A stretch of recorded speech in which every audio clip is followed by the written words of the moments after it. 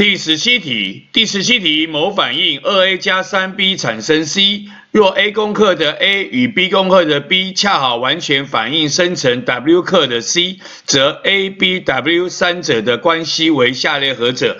这题在考质量守恒，反应前的总质量等于反应后的总质量。我们现在总共有 a 公克的 a 跟 b 公克的 b 完全反应，所以反应总前总质量是 a 加 b，最后通通产生 c，c 有 w 公克，所以反应后总质量是 w。那么反应前的总质量要等于反应后的总质量，所以关系式是 a 加 b 等于 w。